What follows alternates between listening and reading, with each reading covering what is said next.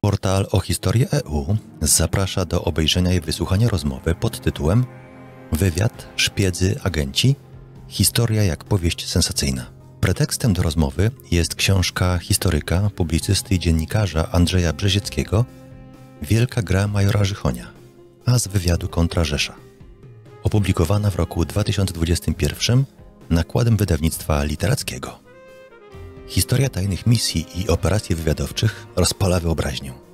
Szpiedzy, agenci, gry operacyjne są wdzięcznym tematem dla kina i literatury. Najbardziej spektakularnym przykładem popularności tej problematyki są powieści Jana Fleminga i jego kontynuatorów oraz powstająca od wielu dekad na podstawie literackich pierwowzorów seria filmów o będącym w służbie Secret Intelligence Service MI6 agencie 007 Jamesie Bondzie. Bohaterem książki Andrzeja Brzezieckiego jest oficer polskiego wywiadu major Jan Henryk Żychoń. Postać nietuzinkowa, niejednoznaczna, tyleż fascynująca co kontrowersyjna. Dla jednych bohater, patriota, a z wywiadu, dla innych degenerat i alkoholik, człowiek bez moralności, zdrajca Polski i narzędzie niemieckiego wywiadu. Przez niektórych bywa porównywany do Jamesa Bonda. Fascynująca biografia majora Żychonia stała się inspiracją dla twórców zrealizowanego na przełomie lat 80. i 90. ubiegłego wieku kultowego serialu Pogranicze w ogniu w reżyserii Andrzeja Konica. Wiele przeprowadzonych przez Żychonia tajnych operacji wywiadowczych stanowi kanwę dla fabuły poszczególnych odcinków serialu. Jedną z takich operacji była słynna akcja Wózek. Major Żychoń stał się pierwowzorem dla głównego bohatera serialu Pogranicze w ogniu, kapitana Cezarego Adamskiego, granego przez Cezarego Pazurę. Z autorem książki, Andrzejem Brzezieckim, rozmawia profesor Rafał Wnuk. Realizacja wideo i podcastu dr habilitowany Piotr Witek, profesor UMCS. Dzisiaj mamy zaszczyt gościć Andrzeja Brzezieckiego, człowieka związanego z Tygodnikiem Powszechnym, z Gazetą Wyborczą, z mm, Rzeczpospolitą, z Newsweekiem zdaje się, tak? Też pisuję, tak. Świetnie. Dla mnie jesteś jednak przede wszystkim człowiekiem zajmującym się y, historią wywiadu. I autorem dwóch ważnych książek o dwóch asach polskiego wywiadu. E, pierwsza z tych książek dotyczy mm, Czerniawskiego, człowieka, który oszukał Hitlera, ale dzisiaj będziemy rozmawiali o, o Żychoniu. Mam pytanie, dlaczego wywiad? Skąd w ogóle pomysł, żeby się zająć historią wywiadu?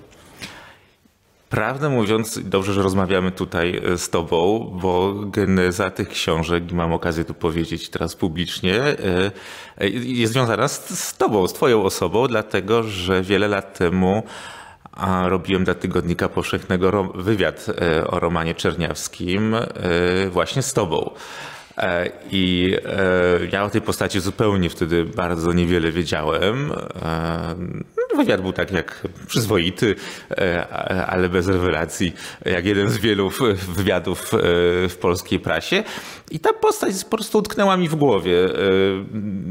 No, tam zakreśliliśmy sylwetkę Czerniawskiego i zawsze mi się wydawało, że to jest ciekawa historia i kiedyś byłoby ciekawe do niej wrócić i tak przyjrzeć się jej z bliska. I po prostu potem zupełnie jakoś, no właśnie pomyślałem sobie, że że, że chciałbym napisać książkę o nim, więc byłeś poniekąd akuszerem, czy może takim pierwszym poruszycielem całej tej historii. No i troszeczkę nawet właśnie przez Czerniawskiego potem wyniknął ten wyniknął Żychoń. Więc y, może rozczaruję e, ciebie i wszystkich, ale nie był to jakiś bardzo świadomy taki wybór e, przemyślany. No to się tak zdarzyło od jednego drugiego, aczkolwiek oczywiście no, te historie mnie e, bardzo interesują i poświęcam im dużo czasu. Jest to po prostu no, kawał historii i Polski, i Europy. Jest to bardzo interesujące. Myślę, że też jest tutaj jakaś mm, jakaś kwestia no, takiego chłopięcego poszukiwania przygód, to znaczy no, szpiedzy, albo Indianie, albo Robin Hood, to wszystko jest jakby w jednej takiej mm, chłopięcej myśli, marzeniu o przygodzie, a akurat być może nawet oficerowie wywiadu są mi o tyle bliżsi bo nie bardzo lubię wojny, znaczy nie bardzo sobie wyobrażam, e, e, nie wiem, wojna mi się kojarzy ze śmiercią, a wywiad bardzo często potrafi uratować życie, albo działalność wywiadu jest w stanie zapobiec wojnom, albo zminimalizować straty, e, więc może, może w ten sposób jest to, jest to dla mnie ciekawsze. Bardzo się cieszę, że miałem jakiś wpływ na to, że te książki się pojawiły, tym bardziej, że... Tantiemów nie będzie z tego. Nie szedłem w tym kierunku. Natomiast Natomiast e, dla mnie bardzo interesujące było spojrzeć e, na, na Żychonia, na to, co zrobiłeś z Żychoniem, e, jako na mm, tak naprawdę historię polskiego wywiadu w okresie dwudziestolecia międzywojennego, wywiadu na kierunku zachodnim i okresu II wojny światowej. Okej, okay. znaczy dla mnie jest to po prostu nie tylko książka o człowieku, ale książka o, o, o, bardzo dużym problemie, o bardzo waż, duż, ważnym problemie badawczym. Ja sobie czytając tą książkę sobie takie hasła e, przypomniałem, czy też zanotowałem. Kobieciarz, alkoholik, e, pracocholik, człowiek uzależniony od, e, mm, od adrenaliny, pewnie potwornie inteligentny, bezgranicznie oddany krajowi, bezwzględny i dowcipny. To są takie hasła, pod którymi, pod którymi e, słowo Żychoń mi wyskakiwało, czytając, e, e, czytając Twoją książkę. Miałem wrażenie, mm, że on jest trochę Jamesem Bondem. Mm.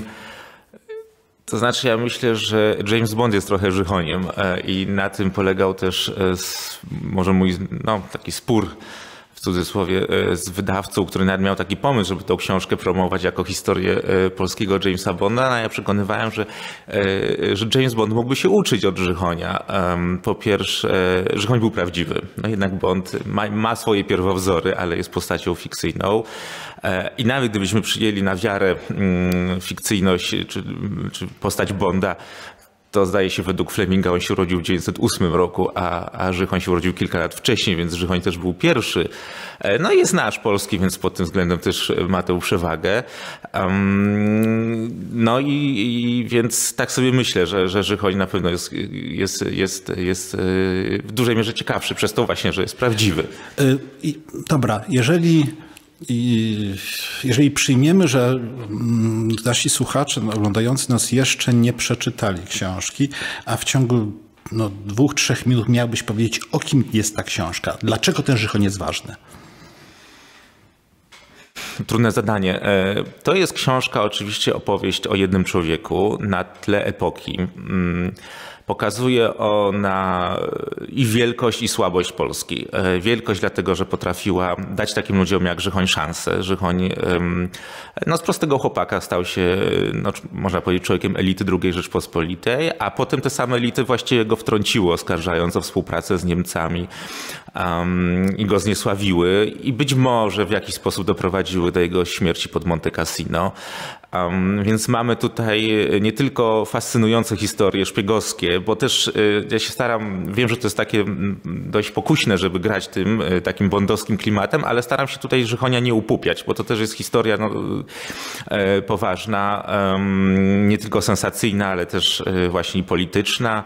Dotyczy różnych gier politycznych wokół Polski III Rzeszy, um, więc jest to i taka historia, ale też pokazuje właśnie różne, różne problemy, problemy, które trawią nasze życie publiczne, bo właśnie takie oskarżenia o agenturalność, o wysługiwanie się innym państwom, no to jest to wszystko, co przerabiamy. I nieprzypadkowo jeden z tych rozdziałów nazwałem Człowiek wśród skorpionów od, od, od książki Czesława Miłosza, który opisywał kolejny, inny przypadek oskarżenia E, Brzozowskiego o, o byciu agentem, e, no bo właśnie to wszystko się tak, w takim polskim piekle czasem lubi kotłasić, gdzie te oskarżenia, pomówienia dotykają ludzi, mm, którzy nie zawsze się mogą bronić.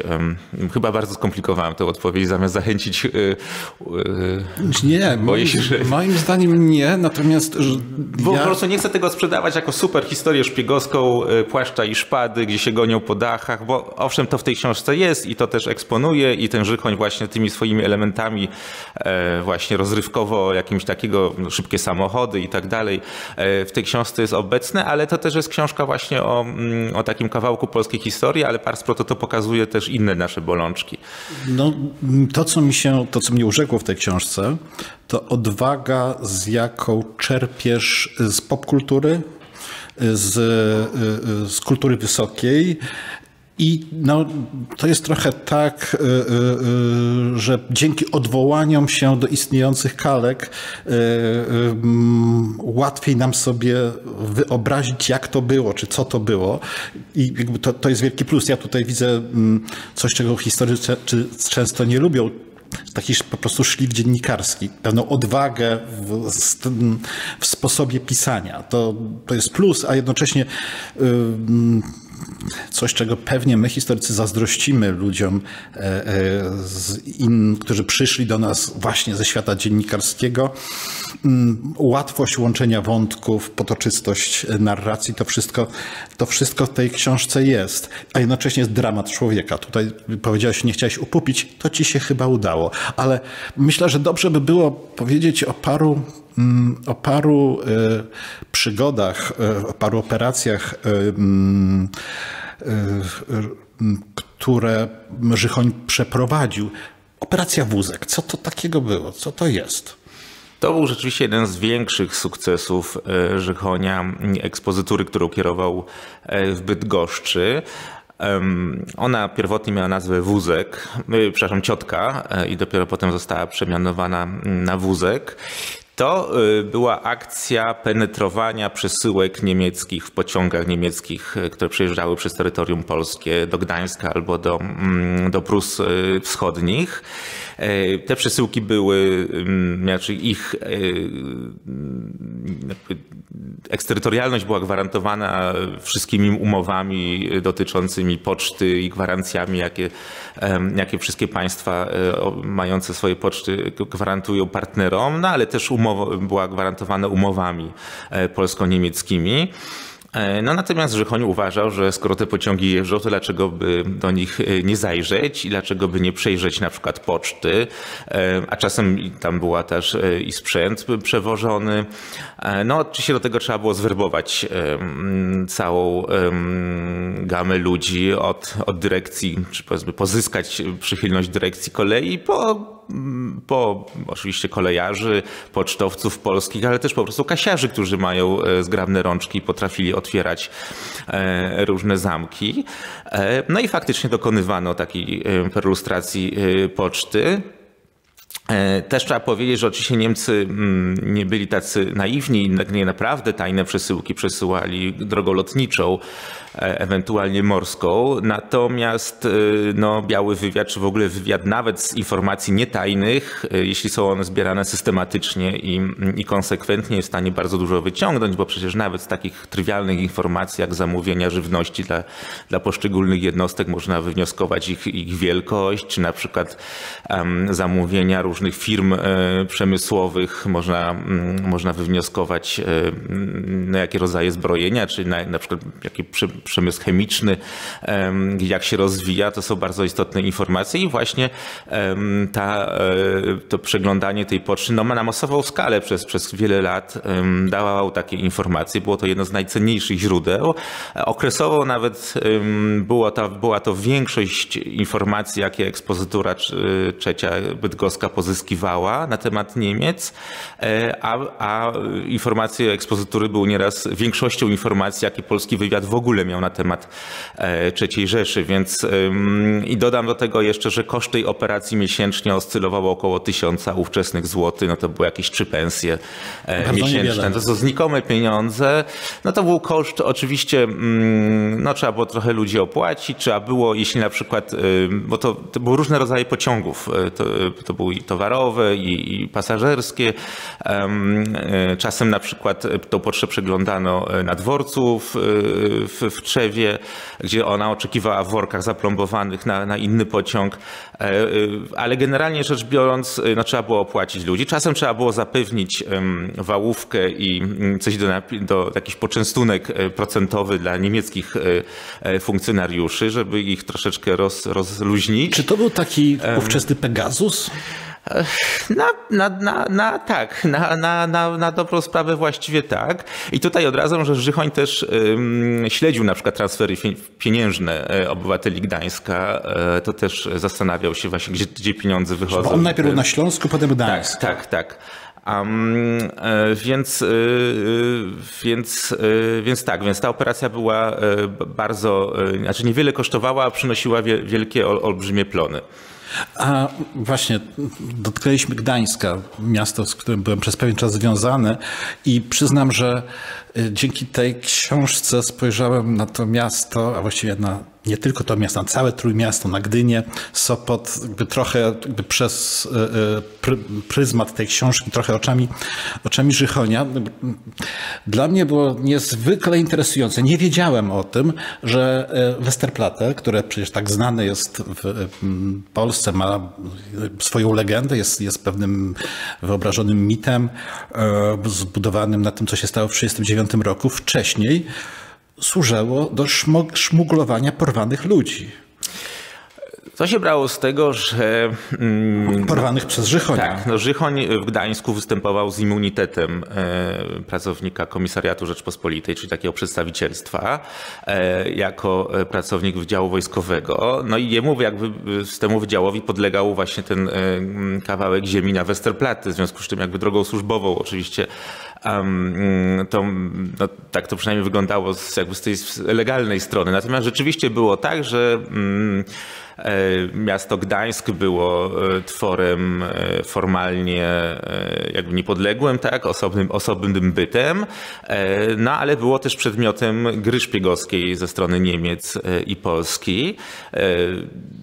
Trudność polega na tym, że ponieważ nie miał ustawy o szpiegostwie i o przeciwszpiegostwie, to trudno było tam za taką działalność kogokolwiek sądzić, więc zarówno Niemcy i Polacy, jeśli chcieli kogoś skazać w procesie, E, a wtedy takie procesy były w cenie, bo właśnie nagłośnienie na przykład łamania mm, postanowień traktatu wersalskiego e, no było bardzo mm, na rękę zarówno Polakom, jak i Niemcom, no to należało kogoś skazać, ale żeby go skazać, trzeba było go wywieźć z tego Gdańska. No i tu się pojawiały kłopoty, no bo oczywiście wywieźć po dobroci albo legalnie nie zawsze można było, w związku z czym Żychoń, co jest nietypowe, dlatego że Żychoń był szefem ekspozytury, czyli właściwie był człowiekiem z zabiórka już w tym momencie, ale miał taką fantazję, że w paru przypadkach rzeczywiście rzeczywiście mm, zwabiał do jakiegoś takiego bezpiecznego, jakby się wydawało, miejsca w Gdańsku e, ludzi, mm, takich renegatów, ludzi z pogranicza polsko-niemieckiego, którzy kiedyś na przykład mieli polskie obywatelstwo, potem bardziej się utożsamiali z, z państwem niemieckim. No właśnie używał najpierw alkoholu, czasem włączał się w to referat techniczny oddziału drugiego, który produkował jakieś środki e, odurzające. I tutaj jeśli chcemy szukać analogii z Bondem, to był to jakiś e, Q.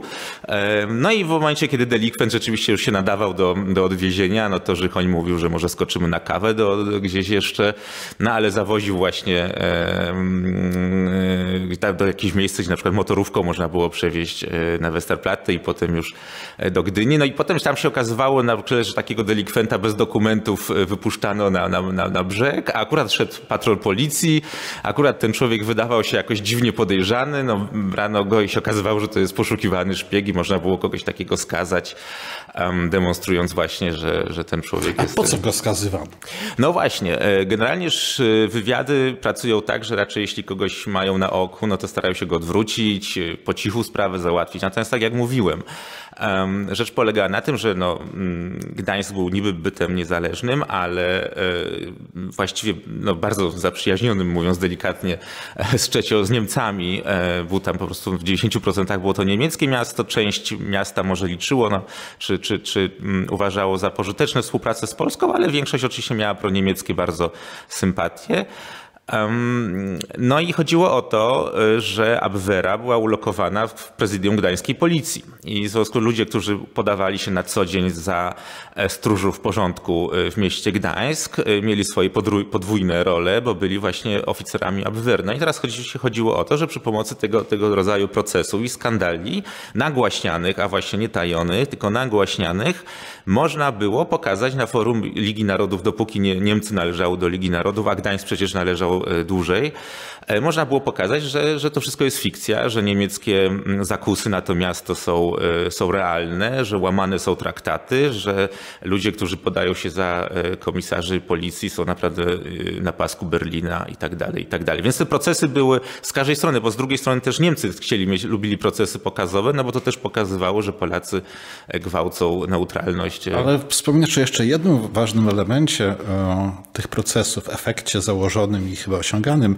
czyli e, zniechęcanie własnych obywateli do współpracy z wrogiem, bo okazywało się, że proszę bardzo, ty obywatelu Polski, który współpracujesz z Niemcami, jesteś porwany, przywieziony do Polski i skazany na ogół na śmierć. Najczęściej tak. Najczęściej były to e, wyroki śmierci, z tym się nie patyczkowano. Jeśli chodziło o żołnierzy, były to, było to rozszczelanie e, przed Plutonem. E, mm, no, cywile ginęli inaczej, chyba szubienica była wtedy na tapecie, więc w Niemczech topór. Hmm. A właśnie, ten Gdańsk, tam się pojawia jeszcze jedna osoba, która również jest potem ważna w przypadku e, Czerniawskiego, mianowicie Oscar Reilly. Ta walka tych dwóch e, e, no, szefów, oficerów, jak to jest fascynujące. To, to jest absolutnie fantastyczny kawałek książki, świetna historia. Jak ty to byś opisał? No tak, rzeczywiście ten duel jest yy, pasjonujący. No tym bardziej, że on miał ten swój epizod gdański. No i po latach objawił się w Paryżu, e, kiedy Żychoń już jest e, na Wyspach Brytyjskich, a, a I to łączy kieruje, też z. Tak, a kieruje Abwerą w, w Paryżu. Reyle człowiek wysokiej klasy. Zresztą miał pretensje do Polaków, no bo w wyniku powstania państwa polskiego jego rodzina straciła tutaj majątki, ale rozumiał Polaków, znał język polski, więc nadawał się do tej e, roboty. Już właśnie z relacji Czerniawskiego wiemy, że bardzo dbały był też o, o swój jakby wygląd zewnętrzny, miał zawsze zadbane paznokcie. No, był takim Niemcem, ale z in No i, i, rzeczywiście prowadził te gry szpiegowskie mm, z, z Żychoniem. One były bezpardonowe, dlatego że w planach Rejlego było na przykład przy pomocy właśnie jednej z kobiet um, uwiedzenie przez nią Żychonia, sprowadzenie go na przykład na teren Niemiec, porwanie go między innymi albo wyeliminowanie w jakiś w jakiś sposób. Reyle przetrwał wojnę, e, przeżył wojnę i potem zresztą służył w zachodnio-niemieckim wywiadzie jako instruktor, jako taki praworządny obywatel. E, no faktycznie chyba jakichś tam wielkich zbrodni na jego koncie nie było. Natomiast potem pozostawił po sobie różnorakie wspomnienia. Troszeczkę podkoloryzował je, trochę sam siebie wybielił. Natomiast one są wykorzystywane przez historyków właśnie z tym zastrzeżeniem, że trzeba je konfrontować z, e, z, innymi, e, z innymi informacjami. Zresztą e, no, on wspominał Żychonia, są zachowane różne relacje, gdzie na naradach Abwery właśnie Żychonia uważa się za bardzo niebezpiecznego oficera, bardzo... Tak, jeden z pięciu najniebezpieczniejszych, najbardziej pożądanych. Później, tak, tak jako bardzo niebezpiecznego, e, zajadłego wroga Niemców, e, z którym bezwzględnego, to słowo bezwzględny się pojawia w bardzo wielu materiałach niemieckich na temat Żychonia. I jakby to prowadzi nas do, do, tego momentu, w którym Żychoń staje się oskarżony, prawda? Oskarżony o współpracę z Niemcami. Mógłbyś trochę więcej na ten temat powiedzieć y, przy okazji, malując ów spór między oficerami referatu wschodniego i zachodniego? Tak, to jest y, bardzo skomplikowana historia, dlatego że wielo, wielopłaszczyznowa, tak, dlatego że oczywiście oddział drugi był mówiąc takim językiem potocznym, no, firmą, korporacją, tak, dość dużą, a w każdej tego typu jednostce instytucji są różne frakcje, frakcje mające swoje ambicje. No. I są też różnice charakterologiczne. E, ludzie się po prostu czasem nie lubią. I tutaj te dwie, dwa elementy mieliśmy. I trzeci element był taki chyba najpoważniejszy i najmniej zbadany właściwie, na ile pewna część elity polskiej e, w sztabie, ale nie tylko, no miała ten dylemat, czy iść, e, że on został sformułowany przez jednego z oficerów po wojnie, czy iść przeciw Niemcom, czy z Niemcami przeciwko Moskwie. No i mając e, to tło, o którym mówiłem, czyli jakby korporacyjne walki, charakterologiczną niechęć do Żychonia, bo Żychoń lubił sobie robić wrogów. Miał taką tendencję przez swój taki, był rogatą duszą i przez swój taki krnąbrny charakter. Tam jeszcze ciekawo, przepraszam, że tak wchodzę e, w słowo, ale ty jeszcze podkreślasz to, że Niezbrzycki, jego główny przeciwnik, prawda, e, e, czy też główny oskarżający i jest człowiekiem e, no, elit, starych elit, szlachcic i tak dalej, i tak dalej, mm, który, który oskarża owego no, człowieka nowych, nowych elit, no, że, że nie dorasta. Prostak, że tak, prostak, prostak analfabeta, tak oni takich To jest taki na klasizm daleko idący. Było w tym coś takiego rzeczywiście. No Żychoń awansował bardzo szybko, przecież chłopak dwunastolatek, no przeszedł wszystkie, trafił do Legionu, przeszedł wszystkie te mm, szczeble, um, no właśnie. Na 30 parę lat. I... Tak, tak, więc i, no i awansował, ponieważ Niezgrycki cały czas był kapitanem, tak. E, a on już był majorem w 1936 roku, więc myślę, że tutaj to miało i też dawał do zrozumienia właśnie oficerom z referatu Wschód, no, że co wy potraficie. Tu trzeba być uczciwym, że akurat szpiegowanie w Związku Sowieckim było dużo trudniejsze niż, e, niż w III Rzeszy. Um, właściwie prawie, że niemo, niemożliwe. Były takie okresy, kiedy um, Polacy po prostu napadali na przykład na, na, na dworce e, i na kasy, i na pocztę na dworcach przy granicy. E, pozor, pozorowali napady bandyckie, brali też pieniądze, ale brali na przykład dokumenty. No w Niemczech to, po Niemczech można było podróżować w miarę, w miarę swobodnie. Ale wracając do tych e, konfliktów, no więc mamy te, te takie, mm, takie ogólne tło.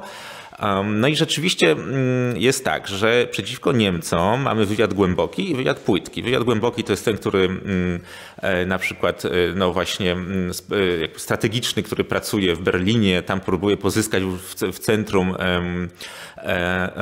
informacji na temat III Rzeszy i wywiad płytki, który z założenia kontroluje pogranicze, powiedzmy jakieś 100, 100 kilkadziesiąt kilometrów w głąb. Do połowy lat 30., dokładnie do 1934 roku w wywiadzie głębokim w Berlinie ulokowany Jerzy, Sosnowski, słynny polski szpieg, który tam funkcjonował jako właśnie taki klasyczny James Bond, tak, samochody, dobre alkohole, kobiety i tak dalej. Uzyskał e, dojścia do centralnych urzędów um, w Berlinie i pozyskiwał stamtąd dokumenty. Natomiast no, wpadł w 1934 roku, został aresztowany, jego agentki zostały skazane przeważnie na karę śmierci. No, on został wymieniony dwa lata później, no ale Polacy nie witają go jako mm, bohatera, tylko jako szpiega. Być może to była niemiecka inspiracja, żeby go kompletnie skompromitować i wszystko, co do tej pory wysyłał, żeby Polacy wyrzucili do kosza. Jeśli to był pomysł taki, to się udał. To się udał. E, Sosowski był przetrzymywany ponad rok nielegalnie w ogóle, łamiąc wszelkie przepisy II Rzeczpospolitej. E, prostu jako prywatny właściwie więzień oddziału drugiego. Dopiero gdy sprawa dotarła do Rydza Śmidłego, on no, kazał coś z tym zrobić i zrobił się proces z tego, ale proces był szyty. Ewidentnie był szyty, dowody przeciwko niemu były e, właściwie fingowane. No i tutaj na przykład w, jako biegły z oddziału drugiego występował Jerzy Niezbrzycki, który był szefem referatu Wschód i o szpiegowaniu na, na trzecią Rzeszę nie miał wielkiego pojęcia, nie znał niemieckiego, więc trudno powiedzieć, czy jako biegły e, mógł wnieść tutaj wiele informacji. Mm, Sosnowski został skazany e, ale nie na karę śmierci, jakbyśmy się powinni spodziewać, gdyby dowody były niezbite. Został skazany na 15 lat, odwoływał się, ale to już był czerwiec 1939 roku, wojna wybuchła. No i dalsze jego losy możemy zostawić. Natomiast ci oficerowie, którzy kompromitowali wtedy Sosnowskiego na tym procesie, doszli do wniosku, że skoro Sosnowski jest niemieckim agentem, e, a miał sukcesy, to Żychoń, który ma sukcesy, też jest niemieckim agentem. Nie wiem, e, czy logicy się, zgo logicy się zgodzą z, z, z, prawidłowością tego rozumowania, ale właśnie Niezbrzycki zaczął no, roz kolportowywać takie pomówienia, bo nie złożył żadnego raportu, e, już w Polsce, jeszcze przed wybuchem wojny, że Żychoń prawdopodobnie jest co najmniej narzędziem niemieckiego wywiadu, a być może to potem doszło, e, po prostu e, chodzi na niemieckim pasku. I wszystko, co robi, wszystko, co jego sukcesy są właściwie nic nie wartym. Czy to właśnie jest bardzo ciekawy kawałek książki, to się w kilku momentach pojawia, ta no, przypisano wywiadowi mm, podejrzliwość, która sprawia, że każdy sukces y, może być interpretowany lub bywa interpretowany jako dowód na to, że się jest po stronie przeciwnika. Czyli tak naprawdę zaczynamy żyć w świecie totalnego absurdu, gdzie każdy dowód, czy każdy mm, mm, ka każda operacja, która się kończy sukcesem, jest dowodem przeciwko temu, kto sukces osiągnął. I to jest, i to jest bardzo ciekawe, że mm, właśnie Niezbrzycki twierdzi, iż, iż Żychoń jest agentem, bo ma wspaniałe sukcesy. Tak, być może, gdybyśmy tylko szukali, powiedziałbym, takich dobrych intencji oskarżycieli, to musielibyśmy powiedzieć, że być może referat Wschód E, był zatruty e, sprawą trustu e, z lat dwudziestych, kiedy rzeczywiście sowieckie służby wodziły za nos nie tylko polskie, ale europejskie wywiady, nabrały po prostu i spenetrowały te, te instytucje. No i potem rzeczywiście to myślenie, że, że wszystko, co się wydaje złotem jest nic niewartym śmieciem, tak, to być może ono jakoś się zagnieździło, ta logika w szeregach oficerów oddziału drugiego, no ale tak jak mówię, tam dochodziły też inne elementy, tak, to znaczy być może dochodziło i to rzeczywiście było mm, e, bardzo możliwe, że ci oficer, oficerowie oddziału drugiego z referatu Wschód e, chcieli przejąć referat Zachód, chcieli skompromitować wszystko, co on przekazywał, czyli e, twierdzono, że informacje o zagrożeniu niemieckim, o agresji, o agresywności Hitlera wobec Polski to jest panikarstwo. Zresztą są adnotacje na, na dokumentach z przedwojnia niemalże, gdzie jest napisane panikarstwo, to nic nie warte, to jest właśnie mm, robienie sensacji i tak dalej, i tak dalej. No więc y, te informacje, które dochodziły zarówno z, z Niemiec, jak i z, z ekspozytury trzeciej, już były łagodzone w Warszawie, w, w sztabie, a też trzeba pamiętać, że sterownik polskiej nawy, jeśli chodzi o dyplomację, Józef Beck też nie do końca ufał, opierał się na swoich y, informatorach z ambasad, no i w ten sposób Polacy się dali troszeczkę no, wyrolować. Przyznam, że postać Becka w twojej książce E, jest, jest postacią, malujesz go jako, jako człowieka, no, który nie dojrzał, nie dorósł do, e, e, do ról, jakie odegrać musiał. Ten kawałek, który, mm, ta partia książki mówiąca o tym, jak on do końca nie wierzy w to, że Niemcy zaatakują Polskę i na podstawie własnego przekonania tego, prawda, konia, który jak kopie, to wtedy, no konia, wierzga, który jak tak. wierzga, to on z pewnością jest, jest niegroźny, prawda, y, to, to jest niesamowite, biorąc pod uwagę to, że miał jednocześnie takie, a nie inne dowody od Żychonia. Tak, ja myślę zresztą, że no do wiosny 1939 roku on naprawdę był przekonany.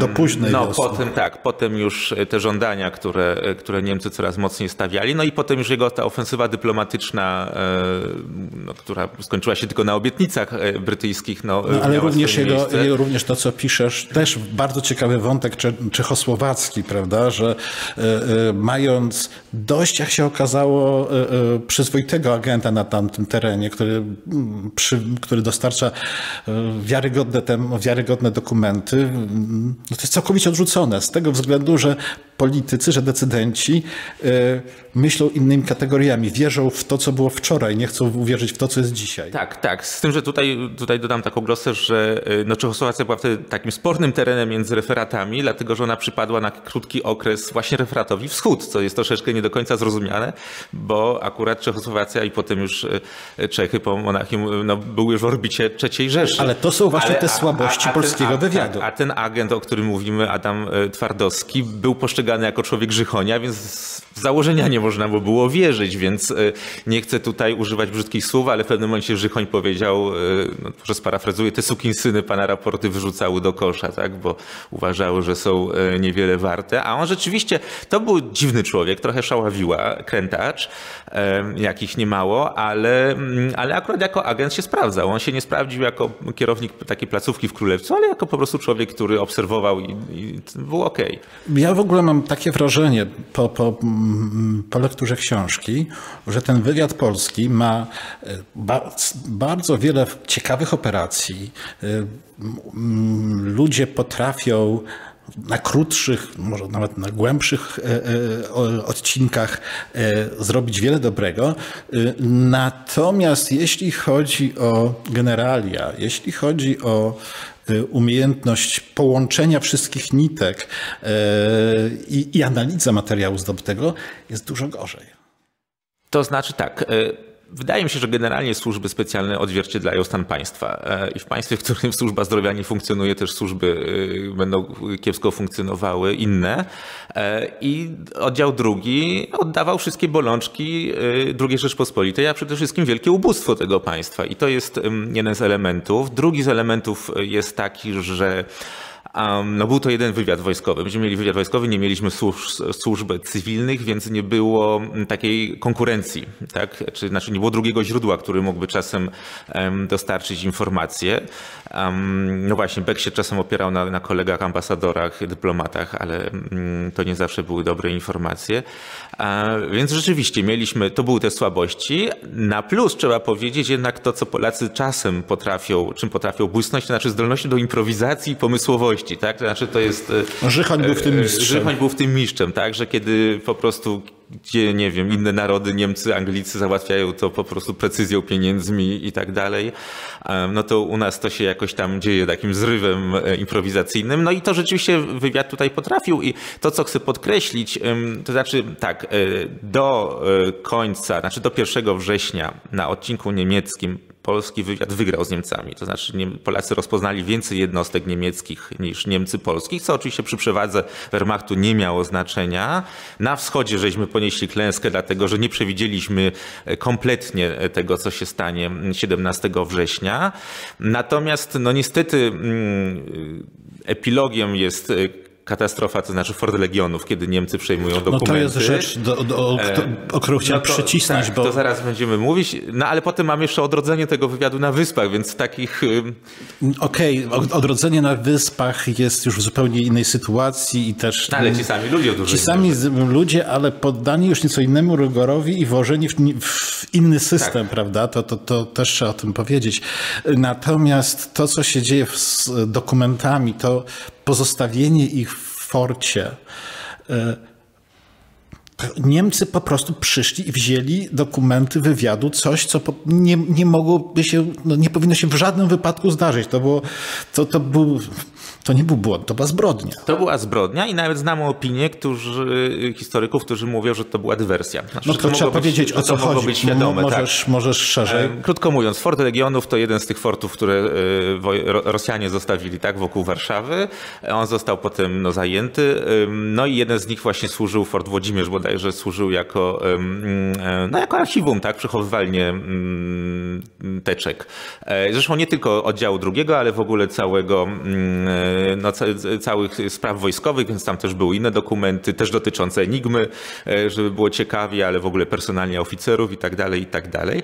Teraz Żychoń pracując na swojej placówce w Bydgoszczy, kierując ekspozyturą, czyli taką delegaturą, jakby byśmy, byśmy powiedzieli, no, miał swoje papiery, zostawiał sobie kopie do, do opracowywania, do prowadzenia e, swoich spraw, natomiast oryginały wysyłał do Warszawy. I Żychoń, wycofując się, w kilku ratach spalił, zniszczył te archiwa, ratując życie, jak sądził, y, wielu, wielu swoim agentom. Tak? I zostawił karteczkę bardzo ciekawe. I nawet na swoim biurku zostawił karteczkę z wizytówką, z odpowiednim cytatem z Goethego, żeby Einsatzgruppen, które wtedy weszły do, y, do Polski, żeby właśnie to znalazły. I rzeczywiście Niemcy relacjonowali, zobaczyliśmy puste biurko, puste ściany Natomiast niestety w wyniku być może zaniedbania, w wyniku jakiejś swojej woli, no wszystko co zostało w Forcie Legionu zostało porzucone.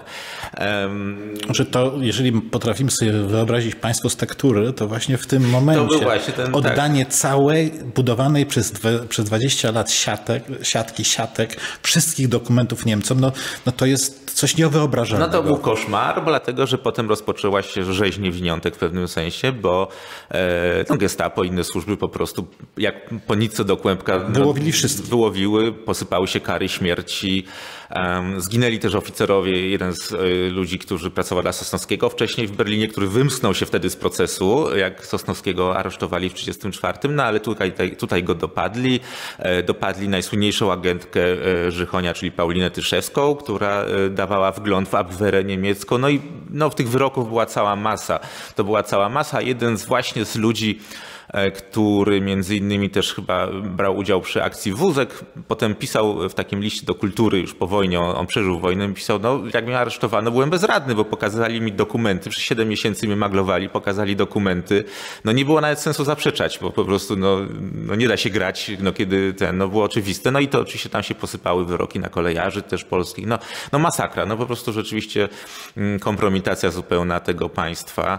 E, trzeba powiedzieć, że Czesi wywieźli swoje część przynajmniej najważniejszych materiałów przekazali Brytyjczykom. E, no i Czesi praktycznie nie mieli istotnych się, strat. E, udało im się ten, ale popromowali wcześniej Polsce. Kiedy groziło już im upadek Czechosłowacji, proponowali Polsce e, swoje aktywa.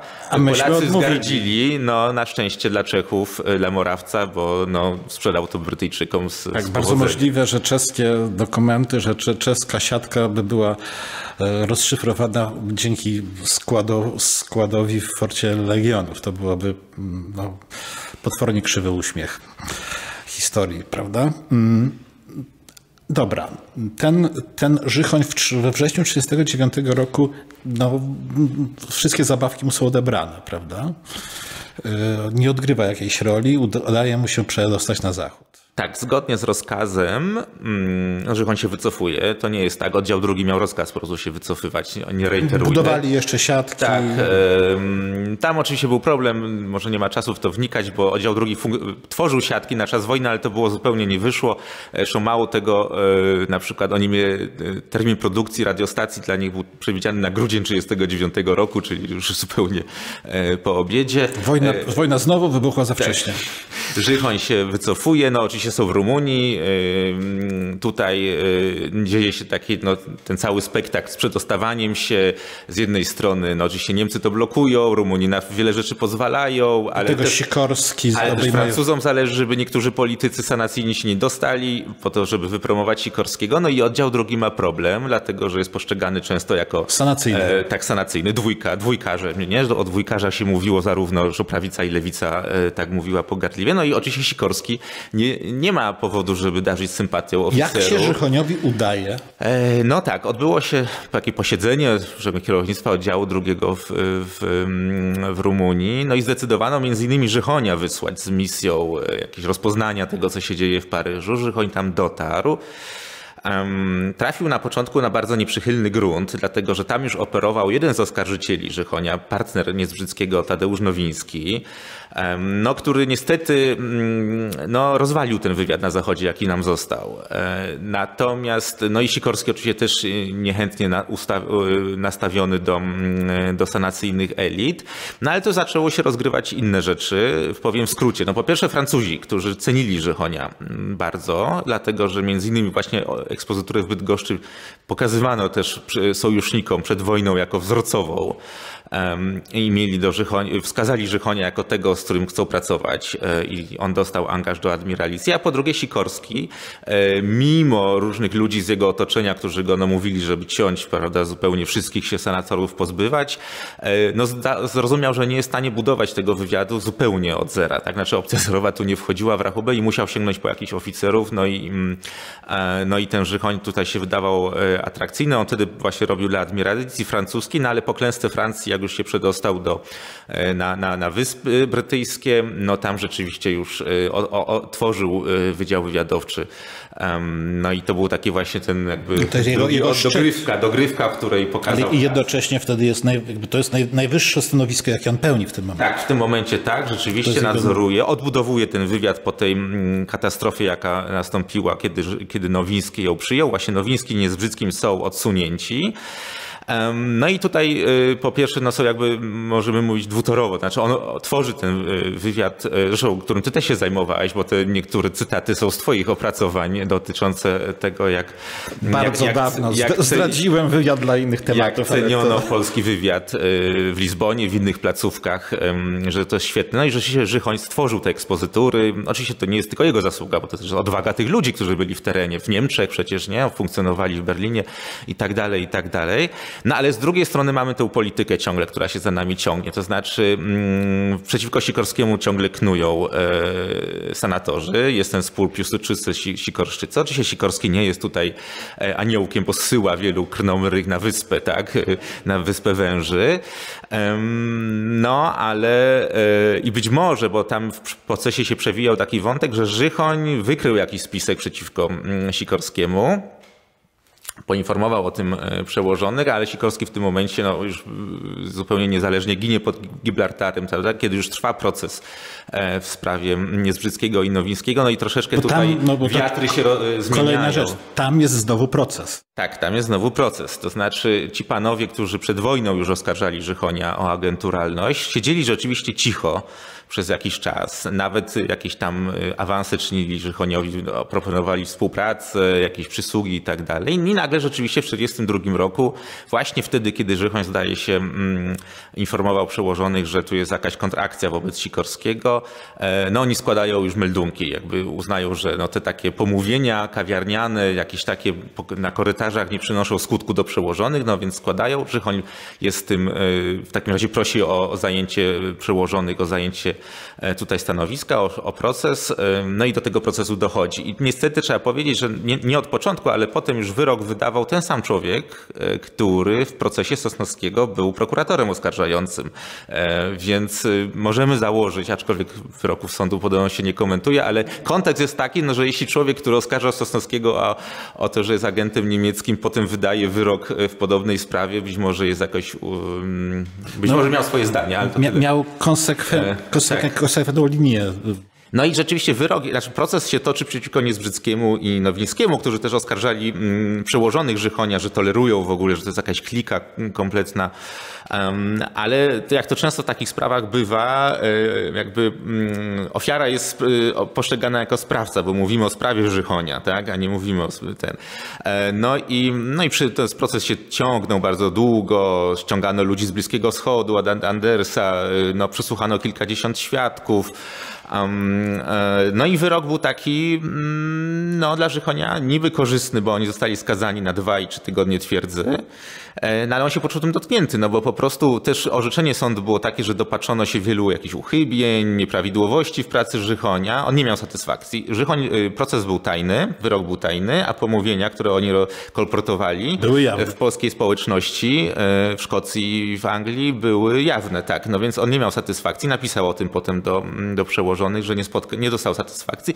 Podał się do dymisji i bardzo skwapliwie przyjęto tą dymisję. Dla mnie to jest zadziwiające, dlaczego tak skwapliwie przyjęto ci ludzie, którzy go w sumie bronili, ale wracam do tego wątku. W połowie procesu ginie Sikorski, który był taką no, jakby, no, patronem e, Żychonia. Tak? Wiatry się zmieniają, jest nowy wódz naczelny, trzeba się jakoś tutaj ust e, ustawić, więc być może ten wyrok i przyjęcie dymisji, że skazujemy ich na lekkie wyroki, ten się podaje do dymisji, no sprawa się kończy. Tak? Zamiatamy wszystko pozostali, pod Pozostali e, zostają na stanowiskach. Być może, to są, to są hipotezy, mm, ale być może tak to wygląda wyglądało? No, Żychoń e, uniósł się honorem, podał się do dymisji, zdał papiery zresztą swojemu mm, zastępcy. E, znany protokół jest wielostronicowy, gdzie są całe aktywa wywiadu opisane.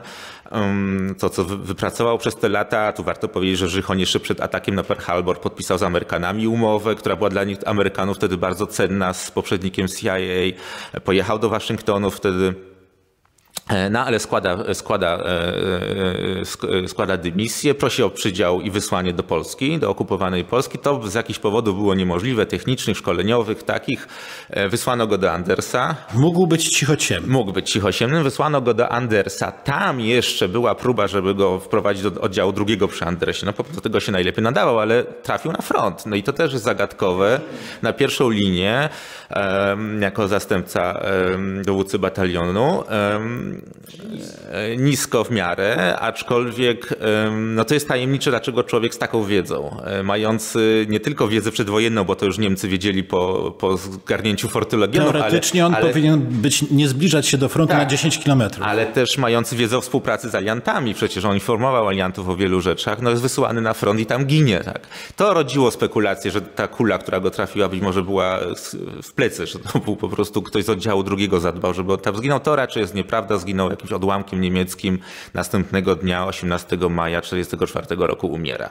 Ale sprawa się nie kończy, dlatego że ci oskarżyciele, właśnie Nowiński, który po, zaraz po wojnie wrócił do Polski, co też jest tajemnicze, dlaczego dwójkarz senacyjny wraca do komunistycznej Polski, który wcześniej szpiegował w Związku Radzieckim, zeznaje na procesie Adama Doboczyńskiego, e, głośnym procesie, opowiada różne historie o senacyjnej Polsce i między innymi bardzo dużo mówi o Żychoniu i mówi coś takiego. Żychoń już nieraz fingował swoją śmierć, kazał rozwieszać e, klepsydry, żona brała fikcyjne uposażenie wdowy, być może Żychoń żyje, być może Żychoń jest anglo, angloamerykańskim agentem w, w Polsce. Plotka, obsesja?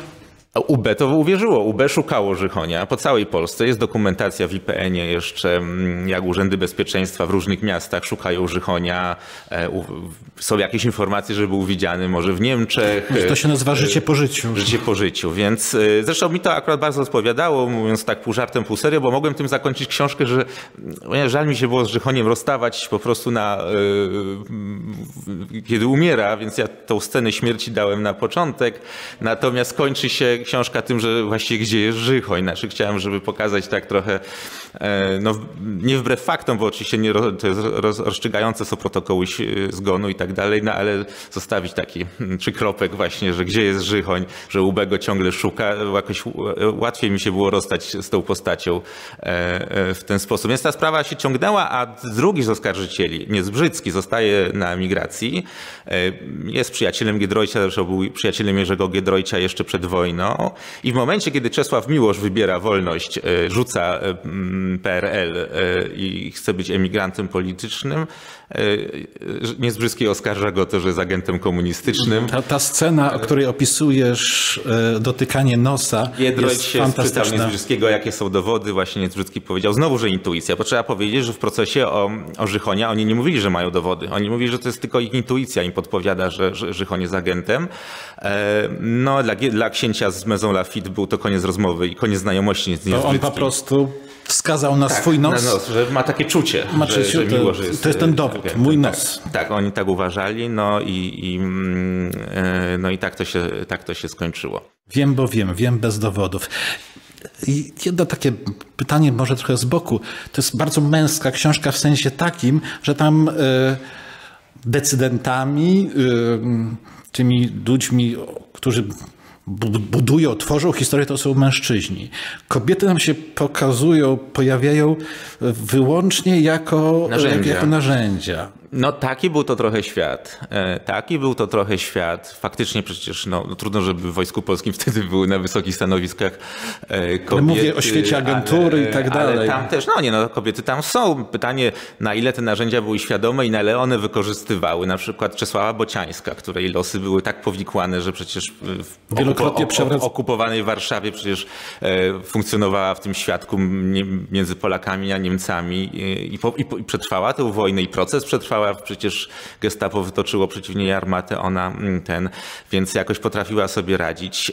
No niestety tak, no, mm, są też kobiety przecież zasłużone, zarówno czy Krystyna Skarbek, czy żona Antoniego Szymańskiego, która w, w Szwajcarii pracowała. Ale one są wszystkie w cieniu. Jednak. One są trochę w cieniu, no ale też ją, ale też to jest charakterystyczne, że zarówno Skarbek, jakby Szymańsko, która była najważniejszym, no ona bezpośrednio rozmawiała z Kanarisem w czasie wojny, tak? E, Polacy wy, wypuścili z rąk, znaczy one były na żołdzie brytyjskim, nie, nie polskim. Tak? Co, to też bardzo ciekawe. To, to jest rzeczywiście charakterystyczne, że, że tutaj e, faceci. A jeszcze pójdę w zupełnie innym kierunku. E, już nie, nie będę pytał o, o wywiad. Jak się pisze taką książkę? Powiem tak. E, jesteś historykiem czy dziennikarzem? Historykiem z wykształcenia. Tak. Ja wiem.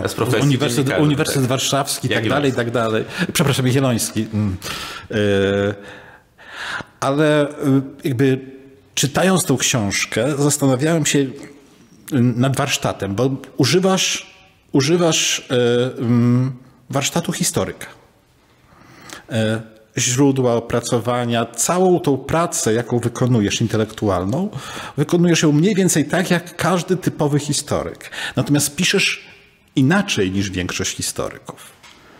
Kim się czujesz, kim jesteś, jakby, jakbyś mógł coś więcej na, powiedzieć na temat ten, jak dziennikarz przekształca się w historyka, czy też w, jak, w sposób historyk czerpie z, e, e, e z warsztatu dziennikarza. Myślę, że to jest trochę fikcyjna opozycja, a może to jest opozycja specyficznie polska. E, to nawet ostatnio robiłem wywiad z, z Anną Machcewicz, e, która miała epizod pracy w przyjaciółce i miała tam, no, rozmawiała z ludźmi, którzy oglądają seriale i żyją życiem celebrytów i teraz mówi, że jak pisze swoje prace, to ją czasem koledzy naukowcy naukowcy, historycy mówią, no to wszystko jest bardzo mądre i tak dalej, ale takie nienaukowe, że ten język jest taki za, za żywy, dziennikarski. Ale mm, nie, nie, znaczy oczywiście jest tak, że, że, że ten język tu jest swobodniejszy, dlatego że adresuje tę książkę przecież też, no, dla, mam nadzieję, szerokiego grona czytelników. Natomiast historyk to jest taki Więc człowiek, który pisze książki, nudny. których nikt nie, nie chce czytać. Nie, aczkolwiek e, no, mi przyświeca, nie chcę, żeby to zabrzmiało, um, ale mi przyświeca, znaczy mi się podoba ten anglosaski styl pisania, tak? To znaczy taki, mm, no, który potrafi łączyć takie rzeczy e, trochę z jakiejś takiej wielkiej narracji, niemalże jakby się Tolkiena czytało, tak, e, ale, ale mi się wydaje, że zarówno w pracy dziennikarza, jak i historyka, jak i każdego człowieka, który coś pisze e, poza, nie wiem, fantastyką i czystą beletrystyką, no jakby rzetelność, jakby takie, no, że sprawdzamy informacje, nie wiem, z kilku źródeł, nie wiem, konfrontujemy je, że to jest naturalne, przecież to za, zarówno jak się tworzy jakieś raporty analityczne czy gdziekolwiek, no nie można e, puszczać wodzy fantazji, więc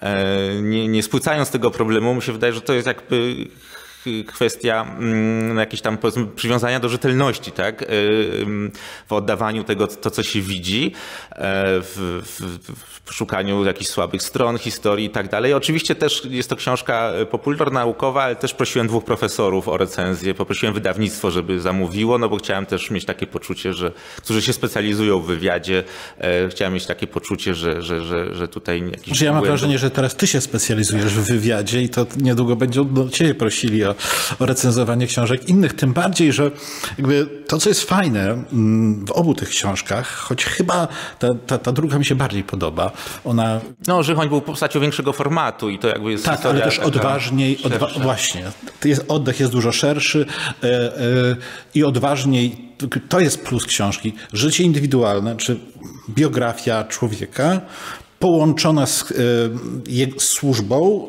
z historią Polski i ten trzeci, czwarty już właściwie plan, e, historia, historia powszechna, historia konfliktu e, e, w Europie, w Europie Środkowej, a potem już tak naprawdę globalny konflikt, jakim jest druga wojna światowa. Jakby, myślę, że student, który chciałby się zainteresować historią polskiego wywiadu, powinien zaczą zacząć od takiej książki, a dopiero potem przejść na, nie wiem, do tego grubego tomu polsko-brytyjskiego. No tak, tych dwóch... Y, to jest nie do czytania tak naprawdę dla człowieka, który, y, który już naprawdę nie jest, nie jest głęboko wgryziony. No oczywiście jest tak, że y, bo jeśli mamy wspomnienia, tak, jako źródło, do którego musimy też podejść właśnie z, z ostrożnością.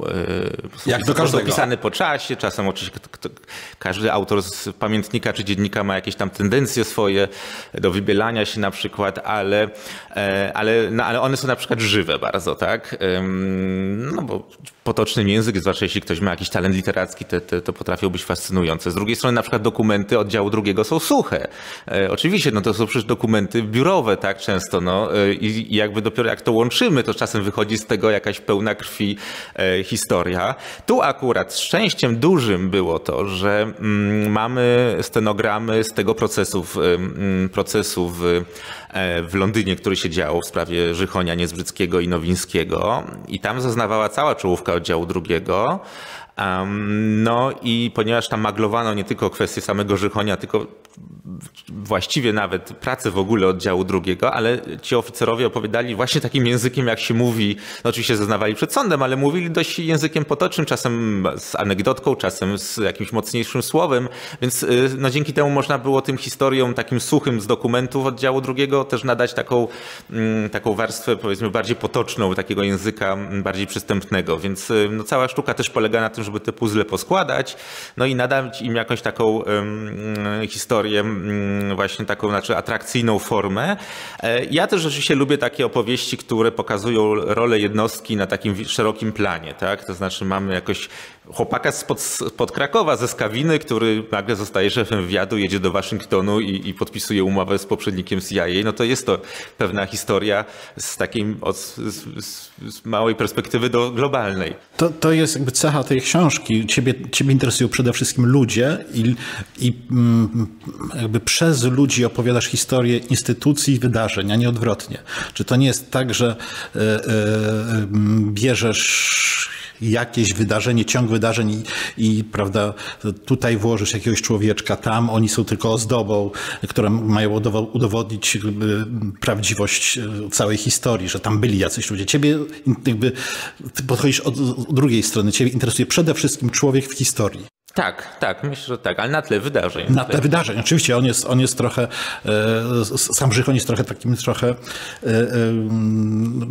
człowiekiem świadkiem, góra świadek, który przez niego opowiadasz e, coś, coś szerszego. Już ostatnia rzecz, czas nam ucieka niemiłosiernie szybko.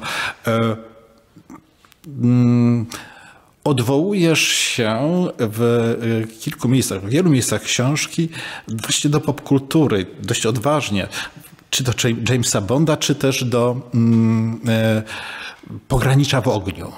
E, to, to też mnie bardzo zainteresowało, jak ta historia żyje potem swoimi życiami. Jak ty to, jak w ogóle do tego doszedłeś? Znaczy, wydaje mi się właśnie, że jeśli pisze się dla, dla książkę popularno-naukową, dla szerokiego czytelnika, e, to łatw, łatwiej mu tłumaczyć pewne rzeczy, odwołując się do rzeczy, które no, siłą rzeczy musi znać właśnie najczęściej z popkultury, tak? To znaczy pewne przykłady, pewne wzorce, e, pewne te, historie. To rozumiem, jako gra wyobraźni, mhm. prawda? Natomiast, okej, okay, może inaczej. Um, rozmawiałem nawet z jednym z kolegów na temat tego pogranicza w ogniu, bo ja tej książ, bo ja, przepraszam, tego filmu y, bardzo słabo pamiętam. On twierdzi, że, y, że te rzeczy w pograniczu w ogniu są no, niemal jeden do jednego y, powtórzeniem no, operacji Żychonia. E, dużo jest tam. E, to jest oczywiście robione mm, w latach, na przełomie lat 80. i 90. ten serial, e, więc ze ówczesnym stanem wiedzy i też, no być może pod koniec PRL-u jeszcze, dlatego był to odcinek zachodni, a nie wschodni wywiadu. Jest tam trochę akcji. One są poprzerabiane na potrzeby filmu, jak sądzę. No ale to nie jest film dokumentalny. Tak, to nie jest film dokumentalny. Nazwiska są przerobione, zresztą główny bohater niby, który być może ma cechy Żychonia i ja też o tym piszę, że ten główny bohater grany przez Cezary Starego Pazurę ma, ma cechy Żychonia, ale wywodzi się z Wielkopolski tam, e, a nie z, spod krakowskiej Żeby mówił po niemiecku. Tak. No Żychoń jako, urodził się jako poddany Austro-Węgier. E, więc, więc są tam podobne akcje. Oczywiście na przykład jest akcja wózek pokazana, ale troszeczkę inaczej, więc pewne analogie możemy poszukać. Oscar Ryle w, w, tej, w, tym, e, w tym filmie ma inny rodowód, znaczy tam też oczywiście jest właśnie, pochodzi z Wielkopolski, polskiej, ale się nazywa Rilke bodajże. Na przykład są połączone postacie. Tam ja opisuję dwie kobiety, która w tym filmie jest jedną kobietą, dwa wątki są zupełnie. Więc rzeczywiście ta, ta rzecz funkcjonowała. Właśnie, tak było przecież z oddziałem drugim, że zaraz po wojnie to byli paskudni dwójkarze i, no, i sanacyjni i tak dalej. No ale mniej więcej w latach 60., co miało związek pewny z, no, z taką polityką zaczęto mrugać oczkiem do, mm, do, do akowców, do żołnierzy przez Do dobrych szeregowców tak, do dobrych, i podoficerów. Tak, tak, no więc y, i wtedy po raz pierwszy, bo wcześniej Żychonia mm, y, no, oskarżano o najgorsze rzeczy. Nawet niedawno przeglądałem Trybunę Ludu bodajże z lat 40. i tam było jeszcze taki tytuł Major Żychoń grasuje w Pol coś takiego w Polsce. Jeszcze y, próbowano tym straszyć po wojnie już w 1936-1937 roku. E, no ale właśnie wtedy już pojawiło się w słynnej serii Y, żółtego tygrysa. Pojawił się tam major Żychonia już pozytywnie oczywiście. Też potem na końcu była taka tylko puenta, że te wysiłki Żychonia i jego y, kolegów spełzły na niczym, bo sanacyjna góra wszystko zaprzepaściła, bo się kumała z trzecią Rzeszą i tak dalej. E, no i dopiero potem prace kilku historyków, y, Leszka Gądka, Kozaczuka, no, były taką pewną rehabilitacją. E, no i, i właśnie dopiero no, w latach dziesiątych można było, no to też ma związek z tym wszystkim, co wiemy o otwartość archiwum, archiwów, nie wiem, możliwość, nie wiem, szukania w Londynie, w, w materiałach, no to wszystko można, umożliwiło konfrontowanie i Trzeba zbieranie. powiedzieć, że ty w tych materiałach wszystkich grzebałeś. To jest książka naprawdę źródłowa. Tak, tak. To znaczy, no i, i, i zarówno IPN, i CAW, i Archiwum e, Sikorskiego w Londynie, i w Gdańsku. Rzeczywiście to... Mm. Choć jednocześnie, czytając przypisy, miałem taką e, radość, że nie są to przypisy, które zabierają trzy czwarte książki, ale są po prostu odwołaniami króciutkimi, tylko Tak, ja jestem zwolennikiem przypisów, które y, no, odsyłają do, do źródła, natomiast nie, nie przepadam za książkami, gdzie y, no, to jest taka niemiecka szkoła pisania, tak? gdzie dwie, tyle jest treści, książki. a tyle jest przypisów i tak naprawdę wiele informacji jest drobnym druczkiem, a już przypisy końcowe, gdzie za każdym razem trzeba y, tą książkę przewracać tak i z powrotem doprowadzają mnie do pasji, więc... Y, Mam, podzielam tą jakby niechęć do przepisów końcowych, które do tego wszystkiego by, byłyby e, niezbyt, niezwykle rozbudowane i zabierały 3 czwarte, 3 e, czwarte e, objętości książki. Co dalej? Kto, um, kto następny? No to zupełnie inna historia. Oddałem właśnie do wydawnictwa książkę o wydarzeniach w Ostrudzie w styczniu 1946 roku, gdzie e, funkcjonariusze SOKU, e, Urzędu Bezpieczeństwa Publicznego w Ostrudzie, a także e, Wojska Polskiego rozstrzelali żołnierzy Armii Czerwonej Sojuszniczej. Poszło no, tam było większe tło, y, ale iskra wybuchła, czy pożar wybuchł, iskrą była butelka wódki i generalnie wódka jest też tam niestety elementem y, istotnym w tej całej historii, ale jest ciekawe to, że zginęło pięciu czerwonoarmistów, y, dziesięć osób wylądowało na ławie oskarżonych w procesie no, sąd wojskowy, nikt nie dostał kary śmierci, wielu z nich wyszło już po amnestii w 1967 roku. Taka, no, reportaż z chwili, bo wszystko się wydarzyło w ciągu kilkudziesięciu minut na dworców e, Ostrudzie. Zupełnie inna e, książka. Zupełnie inna książka, zupełnie inna książka, ale no, mam nadzieję, że ciekawa. Ja jestem przekonany i mam nadzieję, że może również o tamtej nadchodzącej książce, o tej nadchodzącej książce będziemy mieli możliwość kiedyś porozmawiać. Będzie mi miło. Bardzo dziękuję. Dziękuję.